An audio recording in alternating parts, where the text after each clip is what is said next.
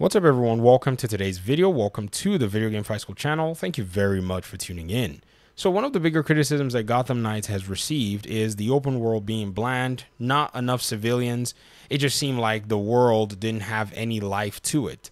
Now, there have been different explanations, possibilities. Some boroughs will probably have more people than some others, depending on where the location is. But the developers did something really strange today. I think they were probably trying to respond to this um, in a subtle and not so subtle way. So let's go ahead and just take a look at what exactly it is. They went on Twitter and they put up this interesting post of a very short exploration of Otisburg, just 24 seconds. You got to see Robin, too, whom we haven't seen in a long time, be the face of this, in quote, visit to Otisburg.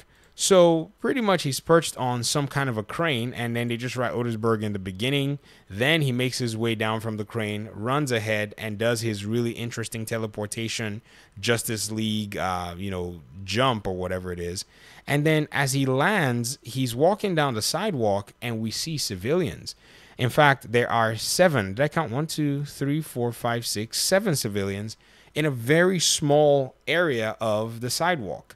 Now, I guess Otisburg, according to what we're seeing here, might be one of those boroughs or one of those areas in the game that is more populated, say, compared to the docks or whatever it is at night. So I think the developers are probably sneakishly throwing this in here so that people who may have had any doubts can see for themselves.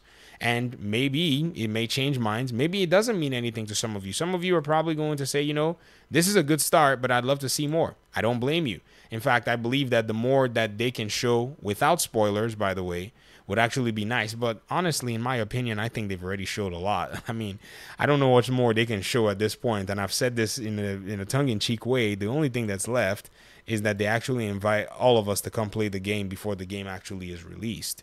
So I guess this question can be put to rest in a sense, and uh, you know maybe somebody can say, okay, I think this is some direction that they're trying to go, and what's interesting is I didn't even hear much about this today.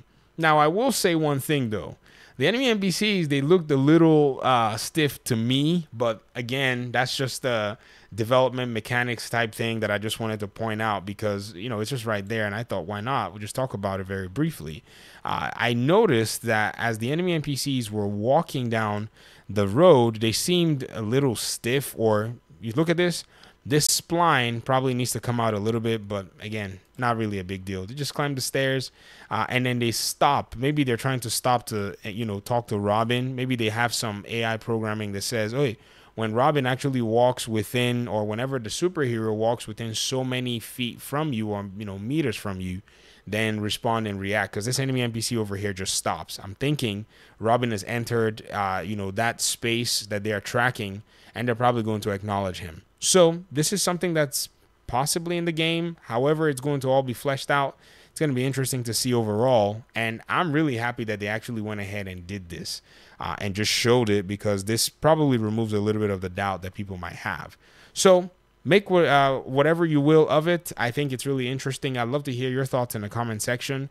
Uh, there's just more and more stuff coming out, and I'll just try my best to continue to bring it to you guys here uh, on the channel. So thanks so much for watching the video. I really appreciate your time and audience, and hopefully we'll talk soon. Peace out.